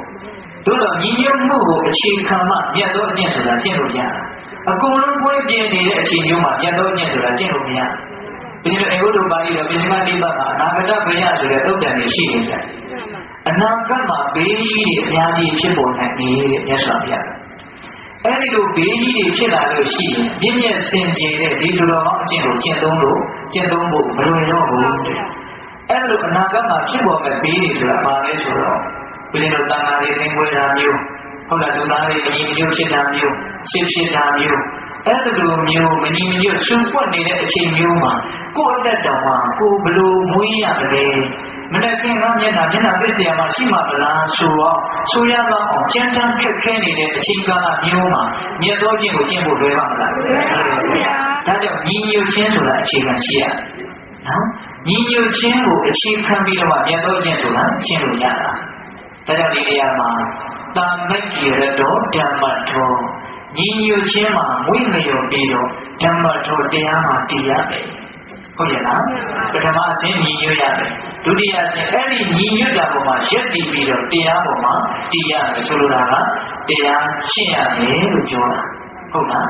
အဲ့လိုမျိုးညီညွတ်ခြင်းကိုအခြေခံပြီးတော့တရားမှာတည်မယ်ဆိုရင်အဲ့ဒီပုဂ္ဂိုလ်ဒီနိဗ္ဗာန်တရားကနေမဆုံးရှုံးပါဘူးပြည့်စည်ပါဘူးလို့မြတ်စွာဘုရားအဲ့ဒီလိုဟောတယ် ဟုတ်ရဲ့လားအေးအဲ့ဒီဇတ်တော်ကငါဇတ်တော်ငါဘုကိုဟောလိုက်တော့အကုန်လုံးတခါလဲမိကြီးမင်းသားတွေစာလုံးကတော့ရန်သူလေးအခုတော့တရားကိုတရားဖလည်းတကယ်နှုတ်ဆက်ပြီးတော့အကုန်လုံးကြည်အေးသွားကြတယ်ငြိမ်းချမ်းသွားကြတယ်အဲ့ဒီလိုငြိမ်းချမ်းသွားပြီးတော့မဆက်ဖြစ်တယ်ဆိုတော့ဦးဇင်းတို့ဒီဥယျာဉ်လေးပြောရမယ်သူတို့နန်းတော်တိတိကိုရောက်ပြီဆိုတော့ဩဘုရားကျေးဇူး မြတ်စွာဘုရားဒီလိုညီညွတ်ရေးတရားကိုလာဟောလို့တို့ငြိမ်းချမ်းရေးရပြီးတော့ဒီနေ့အသက်ရှင်နေတာတကယ်လို့များများမြတ်စွာဘုရားမြတ်ကြီးကကြွမလာဘူးဆိုလို့ရှိရင်ဒီနေ့ဒီအချိန်မှာငါအသက်ရှင်နေပါမယ်လို့ဘယ်လိုမှအမောက်ခံနိုင်ဟုတ်ရဲ့လားမှန်ပါပါဒီအဲ့လိုသူတို့အသေးသေးစဉ်းစားပြီးတော့မြတ်စွာဘုရားရဲ့ကျေးဇူးကတရင်းရင်းနဲ့တွေးလိုက်တဲ့ပုံပဲပေါ်တဲ့အခါကျတော့အဲ့ဒီမှာတာကီမင်းတွေအကုန်လုံးစီဝေဝဲထိုင် ထိုင်ပြီးတော့ဟေးမင်းတို့ကိုရိယာကလည်းပဲမြတ်စွာဘုရားကိုရောမြတ်ကြီးကိုကျေးဇူးဆက်တဲ့အနေနဲ့မင်းသား250လှူရတယ်နော်မင်းသား250မြတ်စွာဘုရားဒီမှာအလို့အကျွေးဖြစ်နေရဟန်းဝေးရတယ်တကယ်လို့စစ်ဖြစ်ကြမယ်ဆိုရင်အကုန်တင်ရဟုတ်လားခုဘုရားကြည့်လို့ကြောင့်မင်းတို့မသိဘူးမသိတဲ့အတွက်ကြောင့်ဟောတို့တကယ်လို့ဘုရားရှင်ကိုရောမြတ်ကြီးကဘုရားမဖြစ်လို့လောကီအထွတ်အထိပ်ရောက်တယ်ဆိုရင်စကြဝဠာမင်းဖြစ်မှာစကြဝဠာမင်းဖြစ်ရင်တို့နောက်လိုက်ကောင်းကောင်းဖြစ်မယ် အခုတော့ဘုရားဖြစ်တဲ့အတွက်ကြောင့်တို့ဘုရားရဲ့နောက်လိုက်အနေနဲ့ရှင်ယဟန်တွေဖြစ်တဲ့နေဒါကြောင့်ကျေးဇူးဆက်တဲ့အနေနဲ့ရောမင်းတို့ဘက်က250တို့ဘက်က250မြတ်စွာဘုရားရှင်ကမလုပ်ကြနဲ့ရှင်ယဟန်ပြုကြမယ်အဲ့ဒါလို250ဒီရှင်ယဟန်ပြုရမယ်ဆိုတော့တချို့လည်းစိတ်ပါတယ်တချို့လည်းစိတ်မပါဘူးမပါရင်လည်းအများလို့တော့ရောရောင်ပြီးတော့လောက်ရတာမလုပ်ဖဲနဲ့နေလို့မရဘူးငင်းဝင်လို့ရှိ အဲ့ဒါနဲ့ယဟန်တော်အစ်စ်900မြတ်စွာဘုရားမရဘူးလားဆရာအဲ့ဒါသူတို့မပြောဘူးဗျတော်တော်များများပါအဲ့ဒီလိုမပြောရတဲ့အကြောင်းတွေထဲမှာအင်မတန်အားကြီးတဲ့အကြောင်းကပါလဲဆိုတော့သူတို့မှာဇနီးဟောင်းတွေရှိတယ်သူတို့ကအိမ်အောင်ရှင်နေတယ်အဲ့ဒီမှာဇနီးတွေကအရှင်သားတို့အရှင်သားတို့ထွက်တော်တဲ့ကစားအိမ်ကတော့လူချိုချင်းနေပါပြီဆိုတော့စာလေးကြီးနေပြီးတော့ပို့တယ်လို့ဆိုတယ်ဟုတ်လားမှန်ပါမစွမ်းရင်ကလည်းရှိ ကြောင်းရင်းကလည်းညီဆိုတာအဲ့ဒါပြောတာဟုတ်လားအဲ့ဒါလည်းအကုန်လုံးမပြောဘူးအဲ့လိုမပြောတာကိုမြတ်စွာဘုရားကသိတော့အော်ငါရဲ့သားတော်ရဟန်းတော်တွေမပြောဘူးကဲမပြောလို့ရှိရင်ကြုံမွေ့အောင်မလုပ်မလဲစိတ်အပြောင်းလဲဖြစ်စေမယ်ဆိုပြီးတော့မြတ်စွာဘုရားကအဲ့ဒီရဟန်းတော်ကလည်းအကုန်ခေါ်ပြီးတော့ခြေသားတို့ဒီမော်တာတော်ကိုရောက်ဖို့ရဲ့လားဘုရားတပည့်တော်တို့ဘုရားအိဒီဘက်မှာမရှိပဲဘယ်ရောက်ဘူးပါမလို့ဗျာအဲ့လိုဆိုရင်သင်္ချင်သားတို့ငါများနဲ့လိုက်မလားဟဲ့ မှန်လားပါတပည့်တော်တို့လိုက်ပါပဲဘုရားဆိုတော့မြတ်စွာဘုရားကတကူတော်နဲ့ကိမောတာတော်ကိုခေါ်ပါအဲ့ဒီဣမောတာတို့ရောက်တော့လောဘတောင်ပန်းတွေမြစ်တွေချောင်းတွေနဲ့အင်မတန်သာယာတဲ့ဒီရှုခင်းရှုခက်တွေကိုမြင်ပြီးတော့သူတို့ရဲ့စိတ်တွေအေးရမှုကိုကြားတယ်အဲ့ဒီမှာမြတ်စွာဘုရားကကုဏလာဇတ်ဆိုပြီးတော့ဇတ်တော်ကြီးအရှိကြီးဟောတယ်ဗျာအဓိကရည်ရတဲ့ကတော့ဓမ္မကြီးကိုပြောရမှာတော့လည်းအားနာပါလေနော်မာတုကာမရဲ့အပြစ်တွေကိုဟောတာမြတ်စွာဘုရားက နော်။ဘာဖြစ်လို့ခေါ်တာလဲဆိုတော့အဲ့ဒီအချိန်မှာအဲ့ဒီပုံကိုယ်တွေရဲ့အချက်ဇေယိုက်နဲ့ကိုက်ကြအောင်လို့ခေါ်တာ။ဟုတ်ရဲ့လား။အဲ့ဒီအချိန်မှာဘာတုကမတွေကြောင့်ဒီယဟန်တွေကဘာဖြစ်နေတာလို့ဒုက္ခဖြစ်နေတာ။အဲ့ဒီအချိန်မှာသူတို့အတွက်အကောင်းဆုံးတရားကအဲ့ဒီတရားပဲ။ဟုတ်ရဲ့လား။အဲ့ဒီမှာဘာတုကမတို့ရဲ့အပြစ်ကိုဟောပြတော့အဲ့ဒီမှာသူတို့ရဲ့စိတ်နှလုံးတည်မမောခြင်းကင်းပြီးတော့ငြိမ်းချမ်းမှုရတယ်။အဲ့တော့သောတာပန်မှာသောတာပန်တွေဖြစ်ကြတယ်လို့ဆိုတယ်။အဲ့ဒီသောတာပန်ဖြစ်တော့လည်းဘိုးတော်တွေနဲ့ပြည်စုံရတယ်လို့ဆိုတယ်။ နော်တကူအတွက်တိသက်မကျင့်ရတဲ့ရှိကောင်းမှုပြည့်စုံတဲ့အတွက်ကြောင့်တကူနဲ့လည်းသူတို့ပြည့်စုံရတယ်တဲ့အဲ့လိုနဲ့အဲ့ဒီယဟန်တော်900မြတ်စွာဘုရားရဲ့ကျေးဇူးကြောင့်သောတာပန်ဖြစ်တကူနဲ့ပြည့်စုံအဲ့ဒီမှာမြတ်စွာဘုရားကအဲ့ဒီယဟန်တော်တွေအပြန်ကြတော့ကိုယ်တကူနဲ့ကိုပြန်လာကြတာအတော်တုန်းကတော့ညိမောတာတော်ကိုမြတ်စွာဘုရားရဲ့တကူကိုအမိပြုပြီးတော့လိုက်ရတာအပြန်ကြတော့ဘယ်ပြန်လာတော့ဆိုတော့မဟာဘုဒ္ဓကိုပြန်လာတာ နော်မဟာဝတ္တကိုမြတ်စွာဘုရားရဟန်းတော်အားရချင်းပြီးတော့ပြန်လာအဲ့ဒီရောက်တော့လည်းပဲမြတ်စွာဘုရားကအဲ့ဒီရဟန်းတော်900ကိုကမ္မထတရားဟောတယ်အဲ့ဒီမှာပဲအဲ့ဒီရဟန်းတော်900တို့ဒီမြန်မြန်ဆန်းဆန်းအရဟတမေညာအရဟတဘုံကိုရတယ်ရပြီဆိုတော့မှသူတို့ရတဲ့တရားအထူးကိုမြတ်စွာဘုရားကိုရှောက်မယ်ဆိုပြီးတော့တကယ်ကိုကြည်ညိုစရာလည်းကောင်းပါလေဒီသူတို့တပါးပြီးတပါးစီးနှမ်းပြီးတော့ထွက်လာတာ ညှိနှိုင်းထားတယ်လို့ပဲတဲ့ဓမ္မတိဓမ္မတက်ပြီးတော့ဖြစ်တာအရဟတမေအရဟတဘုံသိလားအဲ့ဒါအကုန်လုံးလက်ဥပလေးတွေချီးပြီးတော့မြတ်စွာဘုရားကြီးကြွသွားပြီးတော့တရားထူးကိုရှောက်တယ်ကိုရောက်တော့ဘယ်သူမှလည်းသိပြီးတော့ဟိုဦးပြပြအဲ့လိုမရှောက်ပါဘူးအကုန်လုံးငြိမ်ပြီးတော့ထိုင်နေပေါ့နော်အဲ့ဒီမှာသူတို့တရားနဲ့တရားတို့တရားနဲ့တွေရှောက်တယ်ပေါ့အဲ့ဒီမှာရဟန်းတော်900အကုန်လုံးစုစည်းပြီးတော့ဟာမြတ်စွာဘုရား အာတော်ကုံထွန်းတဲ့ယဟန်တော်900စုစည်းမိနေတာယဟန်တွေအများကြီးကြီးကျယ်တဲ့အစည်းအဝေးကြီးပဲမဟာကမေယနော်ကြီးကျယ်တယ်ပါလေအစည်းအဝေးကြီးအဲ့ဒီမှာလက်တွေပြမာတွေအထူးသဖြင့်ပြမာတွေအများကြီးလားလောင်လိုက်တာမှလေဦးဇင်းတို့ဒီဆံမြန်းတစ်ထောက်တစ်ထောက်စာကို9ယောက်10ယောက်အဲ့လိုမျိုးတော့ရှိတယ်ပိဋကအကြည့်ပဲပဂတိမျက်စိနဲ့တော့အမြင်ရဘူးပေါ့နော်အဲ့ဒါတော့ နတ်တွေကျမတွေအများကြီးရှုဝေးမိတဲ့ပွဲရဲ့ပေါ့အဲ့ဒီမှာအဲ့ဒီနတ်တို့ကျမတို့ရဲ့ဇေယျအကြိုက်ကိုလိုက်ပြီးတော့မြတ်စွာဘုရားမဟာသမယသုတ်တန်ကြီးခေါ်လိုက်တယ်တတ္တဝါတွေမှာဇေယျကဘယ်နှပါးရှိတယ်လို့ကြားလို့လို့တတ္တဝါတွေမှာဇေယျဘယ်နှပါးရှိတယ်လို့ကြားလို့တော့6ပါးရှိတယ်နော်ဇေယျ6ပါးဆိုတာကြားလို့နော်အေးအဲ့ဒီဇေယျ6ပါးကိုဇေယျကမျိုးလို့ရင်သုတ်တန်တစ်မျိုးဟောတာပဲမြတ်စွာဘုရားကနော် ရှားကားဇေယျဒေါသဇေယျမောဟဇေယျဝိတက်ဇေယျတတ္တာဇေယဗုဒ္ဓဇေယဗုဒ္ဓဆိုတာပညာဇေယပြောတာနော်တချို့သောတတ္တဝါတွေကဇာကအားကြီးတယ်ဒါကသူကအမျိုးမျိုးပါဇာကအားကြီးပြီးတော့ပညာကြီးတာလည်းရှိတယ်ဘဝကြီးပြီးတော့ဒီဟာသေးတာလည်းရှိတယ်သူကသူသူကစုံနေတာကြောက်တဲ့တရားမကြည့်ဘူးသိလားဇာကလည်းဆိုတာဆွမ်းကမှုအားကြီးတာပေါ့နော်ဒေါသလည်းဆိုတာဖြစ်ကနေရှင်စိတ်တူတဲ့တံပေါ့နော် မောဟကြီးဆိုတာကတော့အင်မတန်ဉာဏ်ထုံနဲ့ထိုင်းတဲ့ပုဂ္ဂိုလ်မျိုးပေါ့ဝိနည်းဆိုင်ဆိုတာကတော့စိတ်ကူးလေးပဲသူအကောင့်ထဲပေါ်နေတယ်ဘယ်တော့မှတတိဖမလုပ်ဘူးအတူရင်းနဲ့ပဲအခြေကိုနဲ့လူမျိုးပေါ့ဟုတ်လားတတ္တဆိုင်ဆိုတာကတော့ယုံကြည်မှုအားကြီးတဲ့ကြည်လင်တဲ့ပုဂ္ဂိုလ်ကြီးပေါ့ကောင်းတယ်နော်ဗုဒ္ဓဆိုင်ဆိုတာကတော့ဉာဏ်ကြီးတဲ့ပုဂ္ဂိုလ်ကြီးပေါ့အဲ့ဒီမှာတဲ့ချိန်မျိုးတတ္တဝါ6မျိုးကိုးရနေတဲ့ဒီနတ်ပြမာတွေပေါ့ဇေယျတမျိုးတွေရဲ့တုတ်တန်တကူဟောလို့ အဲ့ဒီမှာဦးရင်းတို့တုတ်တန်6မျိုးရတယ်နောက်ပြီးတော့မှမဟာသမယတုတ်တံမဟာသမယတုတ်တံဆိုတာကတော့နတ်ဒီမြမာတွေရဲ့အမျိုးနွယ်တွေကိုခုတ်ခုတ်ခုတ်ခုတ်ပြီးတော့မြတ်စွာဘုရားနှုတ်ဆက်တာပါပဲနော်ဒါကြောင့်မလို့အင်းတို့နေုံလားမိနေတဲ့တူပါရဲ့မဟာသမယနေ့ဆိုတာလေဟုတ်လားအဲ့ဒီမဟာသမယတုတ်ကိုရွတ်လို့ရှိရင်နတ်ဒီမြမာတွေကချစ်တယ်ဆိုပြီးတော့ချုပ်ပြကြဘူးလားရွတ်တယ်ဟုတ်တယ်ဟုတ်တယ်အဲ့ဒီမဟာသမယတုတ်ကိုရွတ်ရင်နတ်ဒီအမြဲချစ်တယ် နော်ဒါပိဋကတို့ကသနာတရားရှိတယ်ဆိုရင်ကြိုးစားပြီးတော့ကျင့်မှတ်ပြီးတော့ရွတ်ကြည့်ကြဖို့နော်ထားပါတော့အဲ့ဒီမဟာသမယတုတ်ရဲ့အဆုံးမှာလည်းပဲညနေမှာလေအများကြီးကျွတ်တာဝင်ရတယ်အဲ့တော့ဦးဇင်းတို့ကဒါကနေဘုံကျုပ်ကလေးပေါ့ဘုံကျုပ်ကထည့်ပြီးတော့ပြောတာစိုးဆုံးကညီညွတ်ရေးတရားကိုနားပြီးတော့ညီညွတ်လို့ချမ်းသာသွားကြတဲ့မင်းကြီးမင်းသားတွေဟာနောက်ဆုံးတော့ယဟန္တာတွေဖြစ်ဟုတ်လားအေးနောက်ဆုံးယဟန္တာဖြစ်ပြီးတော့တန်တရားဝိဇ္ဇ သိလို့ငြင်းရရတယ်တဲ့ဟုတ်လားအဲကြောင့်မိဘပေါင်းပြောတို့ဒီနေ့ဦးဇင်းတို့ဘာရည်ရတဲ့ဒီတရားစကားကိုပြောရတယ်ဆိုလို့ရှိရင်မိမိတို့ရဲ့အိမ်တွင်ညီညွတ်ရေးရက်ွက်တင်ညီညွတ်ရေးဟုတ်လားမြို့တွင်ညီညွတ်ရေးနော်အဲ့လိုညီညွတ်ရေးကိုဥတည်ပြီးတော့ညီညွတ်မှသာလေချမ်းသာဒုက္ခဆိုတာရနိုင်လိမ့်မယ်လို့မြတ်စွာဘုရားဖြစ်စေခြင်းနဲ့စေတနာကို တတိတရေသားတော့ပဲဦးဇင်းတို့ပေါ်နေစေနိုင်မှာမဟုတ်လားအကုန်လုံးတော့ပြောနိုင်ပါတော့နော်ဒီဒါကြောင့်ဒီတရားဒေသနာကိုနာယူပြီးတော့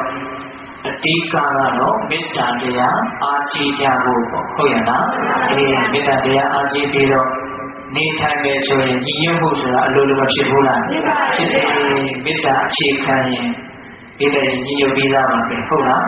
အဲ့ဒီမေတ္တာတွေကျိုးကွဲပြီးတော့ဒေါသတွေအစားဝင်လာပြီဆိုတော့မှ ညီညွတ်ရေးကကျိုးကွဲသွားတာဟုတ်ရဲ့လားအေးအဲ့တော့ဦးဇင်းတို့ဇတ်တော်ကလည်းပုတ်ပြောလိုက်တယ်ဘာကိုပြောလိုက်တယ်နော်ညီညွတ်ရေးလေးတွေလည်းမမေ့နဲ့နော်အေးဘာမဟုတ်တာမှရံရုံမဖွဲနဲ့ဟုတ်လားပြောတိုင်းမရှုံးနဲ့ဟုတ်ရဲ့လားပါလေဆိုပြီးတော့မမာနဲ့မစွာနဲ့ဟုတ်ရဲ့လားနောက်ပြီးတော့ဗါလဲညီညွတ်ညွတ်စွလူစီရှိခြင်းတွေခွန်အားဒုက္ခဓမ္မသိတဲ့နေလေဟုတ်လားနောက်ညီညွတ်ခြင်းတွေ အောင်မြင်တယ်မညီညွတ်ခြင်းတွေကြာရှုံးတယ်ငုံနေဟုတ်လားအေးဒါကြောင့်ဘေးတော်ဘုရားအောင်တို့မိမိတို့ရဲ့သားတွေသမီးတွေကိုလည်းပဲဒီဇတ်တော်တွေကိုတစ်ဆက်ပြောပြပြီးတော့ညီညွတ်ခြင်းရဲ့တန်ဖိုးကိုဖော်ကျူးနိုင်ပါစေဟုတ်လားအဲဒီညီညွတ်ခြင်းမှာရက်တည်ပြီးတော့နောက်ဆုံးတရားဓမ္မမှာတည်ပြီးတော့မဉ္ဇဉ်ပူညာရအောင်လည်းပဲကြိုးစားအထောက်နိုင်ရတဲ့သူတော်ကောင်းတွေဖြစ်ကြပါစေလို့ဦးဇင်းတို့ဆန္ဒပြုရင်းနဲ့ ညီညွတ်မှချမ်းသာပြီဆိုတဲ့တရားကိုဆုံးသတ်ကြနော်တဏှာကြီးနဲ့7မိနစ်ရှိပါဟုတ်လားမေတ္တာပို့တာနဲ့တဏှာကြီး15မိနစ်အတိအကျနော်ဘဝတုတဝမင်္ဂလာရက္ခတုသဗ္ဗဒေဝတာသဗ္ဗဗုဒ္ဓတုဝါဝေနတရာဒုခိဘောတုတေဘဝတုတဝမင်္ဂလာရက္ခတုသဗ္ဗဒေဝတာသဗ္ဗဓမ္မတုဝါဝေနတရာဒုခိဘောတုတေ ဘဘောအတုတမမင်္ဂလာရခတုတမ္ပတိဝဒတမ္ပသံအနုဝံဝေနတရာဒုက္ခိဘောတုတိတေလဝံကေတယနာပိဏပေါင်းသူတော်တို့သာနာအာလုသောတတ္တဝါနန္ဒတို့အားသာဝဘုသာဝမင်္ဂလာတို့ဤလောကုတ္တရာကောင်းစွာမြတ်မင်္ဂလာဘဝဒီဘဝတို့ကောင်းစွာမတွေ့ဖြစ်တော်မူကြပါစေတည်းသာဝတိဝဒမိမိတို့ကနာကိုမှစောင့်ကြနေကြဘုတော်နာ မိမိတို့အိမ်မှာဆောင်ချက်နေကြဘောမနာမိမိတို့ကနာမိမိတို့ကမှာဆောင်ချက်ဆောင်ချက်နေကြဘောနာမြတ်တန်ကောင်းတာကောင်းတို့ပါနေပဲရကံတို့ကောင်းစွာမသွေဆောင်ရှောက်တော်မူရကြပါစီတည်းတမ္မာဝရတုဘဝေနကေကဝါလူသေးစုကပွင့်တော်မူကြတယ်ဆိုလိုတော်ပါမြဲခြင်းကိုယ်တော်မြတ်တို့ရဲ့ဘုဒ္ဓေဆောင်အာတုဘောတော်တို့တော်သောတမ္မာဓမ္မတုဘဝေန မေလီယပူရိယတိဗပရိယတိယဆိုသောစေတတော်တရားတော်မြတ်တို့ရဲ့ဝတ္တိဇောအာထုဘောတော်တို့တော်၎င်းတမ္ပန္တနာတုဘဝေနမဂ္ဂဏလေးရောက်ပြတဲ့လေးရောက်ဆိုသောရှင်တော်ရိယနာရှင်မြတ်တို့နဲ့တကွာတေမဘုံသမားတွေကိုပညာကိုတို့လည်းကြည့်လို့မူရတဲ့ဘုဒ္ဓသံဃာရှင်ကောင်းရှင်ပြကောင်းတို့ရဲ့တကူတေဇောအာထုဘောတော်တို့တော်၎င်းတရားတရားညမှာဘယ်ကမဆိုင်ချင်းရှိတယ်ချင်းရှိတယ် သူဤကိုယ်စိတ်ကြများများမှာချမ်းသာခြင်းရှိကြကုန်သည်ဘဝတို့ကောင်းစွာမသိဖြစ်တော်မူကြပါစေတည်း